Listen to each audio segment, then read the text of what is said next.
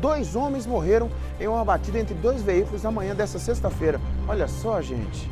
O acidente foi registrado na MG 217, é na região nordeste mineira, né? É, vamos chamar aqui a Alessandra Garcia, que está em Teoflotone, para ela contar desse acidente. Ô, ô Alessandra, ali foi no, no trecho ali de Malacachê, tem água boa, você vai contar isso para a gente? Boa tarde. Boa tarde, Nico. Boa tarde para quem nos acompanha. Esse acidente com duas vítimas fatais aconteceu na MGC 217, que liga as cidades de Malacacheta, no Vale do Mucuri, à cidade de Água Boa, no Vale, vale do Rio Doce. Esses dois homens estavam nessa moto que colidiu com um caminhão de laticínios que seguia sentido a cidade de. A cidade, vou pegar aqui para você certinho o nome.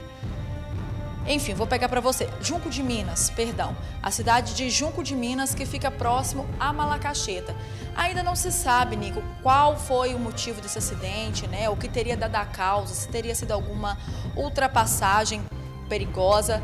E também a gente ainda não tem informação do estado de saúde do motorista, se ele teve algum tipo de ferimento ou não, como que ele está.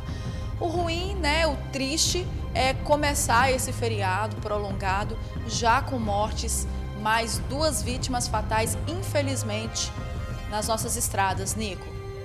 Gente, né, Alessandra? A gente sempre fala disso aqui, né? É para tomar cuidado, especialmente quando é motocicleta, que é um veículo bem vulnerável.